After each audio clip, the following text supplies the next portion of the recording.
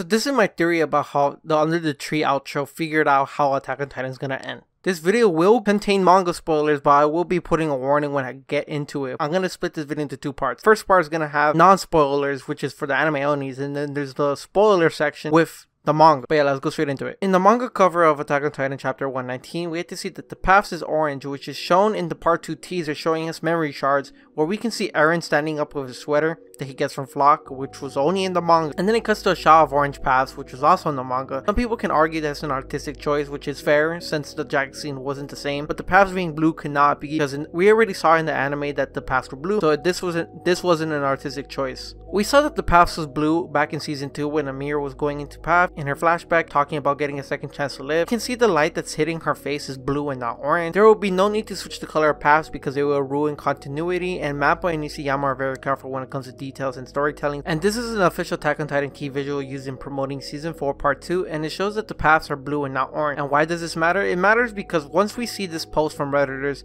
Bitseedle and Crimson F The mess. I, I, I think I said that. They have put together an image showing the differences between the paths. The manga version looks more like the top of the tree with branches, and the anime version looks more like root, which is strange considering that the outro to season 4 part 3's outro is also cut under the tree. Which could have a double meaning, which is the tree that Eren wakes up in in the manga, and compared to the anime where he wakes up under the tree. I know it's a stretch, but there is some symbolism in that. For those of you that don't know what the AoE community is, it stands for Anime Original End. The fanbase was split in two because of the ending debating if the ending was good or if it was bad, but ever since the manga ended, people who were not fans of the manga formed a community known as AoE, make up for the manga's bad end, and we have searched around for hints that can tie to a different ending. There are so many hints leading to that, but that will be for another video because it goes really in depth into a rabbit hole that I do not want to get into. But one theory that AoE has is that there is a different timelines since the manga and anime start off differently, and Eren's reaction to knowing the future is different in certain situations.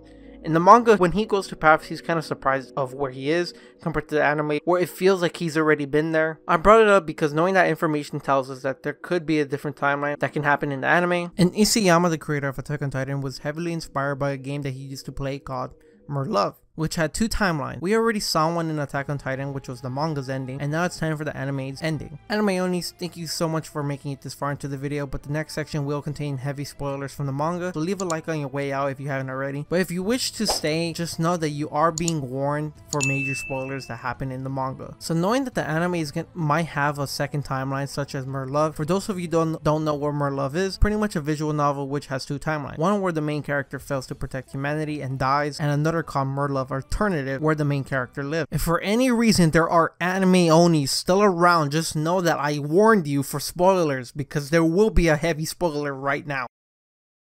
In the manga, we see that Mikasa brings Eren's head under the tree to bury him, and in Under the Tree outro, we get to see someone's shoes, but they're not Mikasa's. The only reason why they're not Mikasa's, Mikasa's is because she has a strap from her ODM gear on her foot. Is imprisoned in the Under the Tree outro. We're following the manga, those shoes should be Mikasa's, but the shoes shown in the outro are based on Eren's outfit and the way he was walking in the rumbling intro. In the Akatsuki no Requiem music video created by Linked Horizon, the ones who sang the ending for season 3 part 1, shows what appears to be Eren walking towards the tree and look at the shoes that the creature is wearing. If we are going based off this music video, that creature should be Eren walking towards the tree, so the under the tree outro should be Eren's POV of walking up the tree. The only reason why the Akatsuki no Requiem theory works is because in the manga, the city Paradis gets blown up by the Marleyans or anyone that's left on the earth. They are above the tree, above the horizon. And if you look in the Akatsuki no Requiem music video, the city is over the horizon, upside down, as if it's under something. We already saw one timeline happen with Mikasa being under the tree, and now we're about to see Eren's version of under the tree